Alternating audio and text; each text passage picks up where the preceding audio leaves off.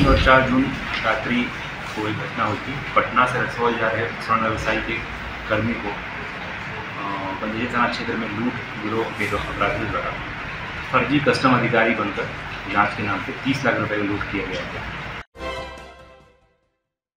Motihari police को बड़ी सफलता मिली है। पुलिस ने पटना के स्वर्ण व्यवसायी से तीन दिन पूर्व हुई 30 लाख के लूट का सफल उद्भेदन किया है।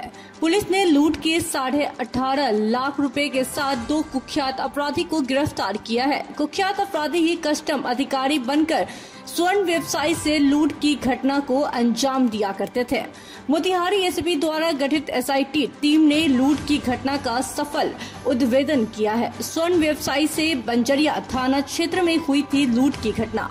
पुलिस ने वैज्ञानिक तरीके से अनुसंधान कर लूट की राशि के साथ अपराधियों को गिरफ़्तार किया। है।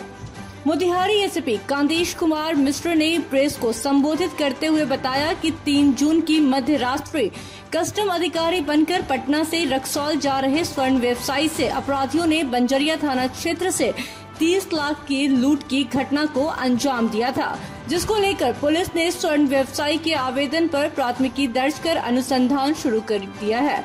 एसपी द्वारा घटना के सफल उद्भेदन को लेकर सदर डीएसपी के नेतृत्व में एसआईटी का गठन किया गया है। गठित एसआईटी टीम ने गहनता व वैज्ञानिक तरीके से गठन किया गया।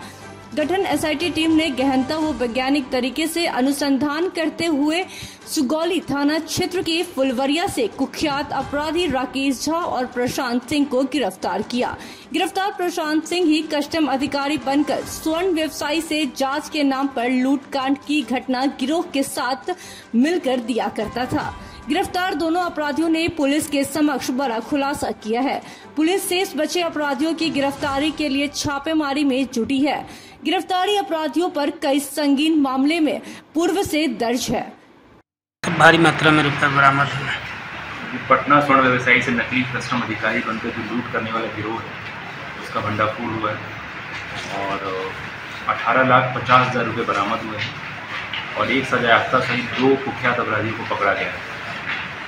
तीन और चार जून रात्रि को एक घटना हुई थी। पटना से रसौल जा रहे स्वर्ण व्यवसायी के कर्मी को अ, थाना क्षेत्र में लूट गिरोह के अपराधियों द्वारा फर्जी कस्टम अधिकारी बनकर जाँच के नाम पे 30 लाख रुपए का लूट किया गया था। इस संबंध में विशेष टीम एएसपी सदर श्री राज के नेतृत्व में काम कर रही थी और इस टीम ने काफ़ी बढ़िया तरीके से अनुसंधान किया है और दो अपराध कर्मियों को पकड़ा है। राकेश झा सुगौली, प्रशांत सिंह सुगौली। इनके पास अठारह लाख पचास हज़ार मिला है और तीन मोबाइल फ़ोन भी जुआ है। राकेश झा के विरुद्ध अभी तक जो अनुसंधान में कुल नौ मामले पूर्व के दर्ज आ रहे हैं, जिसमें कि एक में इसको आजीवन कारावास हुआ था, दो हज़ार पाँच का पाँच का, पाँच की घटना है।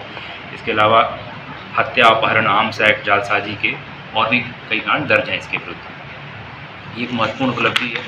श्री राज के नेतृत्व में ये जो टीम काम कर रही थी, इसमें उल्लेखनीय जो रोल आया है इंस्पेक्टर टाउन का S H O Panjaria Prabhakar Pathak, जिला सूचना इकाई से ज्वाला सिंह, अखिलेश कुमार मनीष कुमार, मुकेश कुमार अरुणा दूर और इन सभी ने काफ़ी अच्छे ढंग से इस केस को क्रैक किया है। शेष जो अपराधी इसमें बचे हैं, दो, उसके लिए हम लोग लगातार छापेमारी कर रहे हैं। जल्द उनको ही पकड़ा जाएगा। चार्जशीट करके इस त्वरित जो अनुसंधान विचारण के तहत हमें सजा भी दिलवाएँगे आप हम नहीं बता सकते हैं क्योंकि हमारी टीम को गिरफ्तारी करने का प्रयास कर रही है। सर इतनी ही राशि लूट हुई थी। इन्होंने एफ़ में करीब तीस लाख लूट की बात बताई है। तो इनके पास से हम दोनों के पास से जो पैसा ये मिल पाया है शेष लोगों की गिरफ्तारी के लिए हम प्रयास कर रहे हैं। मुख्य साजिशकर्ता में राकेश झा जी मोतिहारी से प्रतीक कुमार सिंह की रिपोर्ट।